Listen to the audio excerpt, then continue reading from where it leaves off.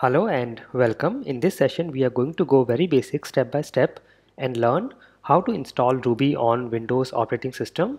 So the very first step is go to Google and search for Ruby download for Windows. So if you go here and say Ruby download for Windows or Ruby for Windows, you will go to this download Ruby link and this is Ruby lang.pro and download. So you can go here and see all the documentation for downloading Ruby. And if I just go to the Ruby downloads page and if I go to here Ruby installer or Ruby installer for Windows it will show you the Ruby installer. And if I go to this download it will show all the installers that you can get for Windows. So you can get the installer as per your operating system. So if I go to my Windows and if I go to my computer or this PC and go to properties here you can see here I'm using a 64-bit operating system on Windows. So I'm going to get this Ruby DevKit 64 you can get whatever is the latest and the stable version at your time and I will download it in my case I have already downloaded it here. So once you have downloaded it you can run the installer. So this is step number two we have done. We have downloaded ruby installer and now we are running the installer. So this is the exe file for installer. And now if I run this I will say read and then you can accept the license agreement and then say next. And here I will go with all the defaults. I will say next. And this will start the installation process. Now the installation can take about a minute and then you will have Ruby installed on your system. We have already uh, seen how to install Ruby on Mac and then we will see some basic Ruby commands. So let us just wait and you have also to add Ruby to your path environment variable. So I will say this is step number four. Add Ruby to your path environment variable. I will show you this in a moment. And then finally you can check with some Ruby commands. So here it is still installing. And once it is installed it will go to your C drive. By default it will go to C and it will create a folder called Ruby. You can see it has already created this folder Ruby.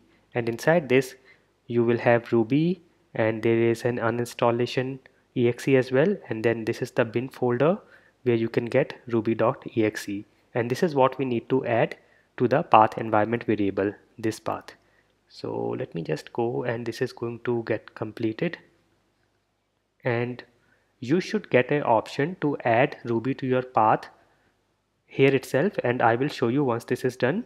So here I will say finish.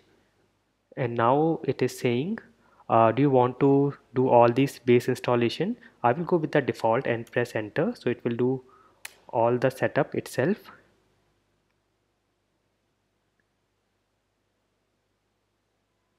So this is doing everything on its own. Let me uh, meanwhile go to the environment variables. I will go to this PC properties and advanced and go to environment variables. And here I will search for path and I will click edit. Now you can see it has already added the path for Ruby that is Ruby bin folder. In case it does not do by default you can manually add this path to your path environment variable. And apart from this let me check if it has done anything else. Yes you can see it has also added this path ruby opt and this is the value it has added here. So this will be taken care by the installer. So now I can go back and say I will just press enter here and now if I go to I'll close all this and if I go to my command line and I run the command ruby space hyphen v I'm getting the version of ruby and I can also say ruby space hyphen hyphen version this will also show me this. And then I can say gem minus v. This will show me the version of ruby gem. And I can say gem list to show the list of ruby gems installed on the system. And I can say gem source to see the source from where gems are getting installed. Uh, then I can say uh, if I want to run and check with any ruby program I can say ruby minus e and then double quotes and then I will say puts. Puts is used to print in Ruby and in single quotes I will say hello world or you can put anything here and then close the quotes. And this is running fine. So this means this is all running fine. Then we have other commands like man ruby to see the ruby documentation. And as of now it's not working. I will check on this. But this is the command you can use to get some help and documentation on Ruby. And if I say IRB it will open interactive Ruby shell. And here I can just put something.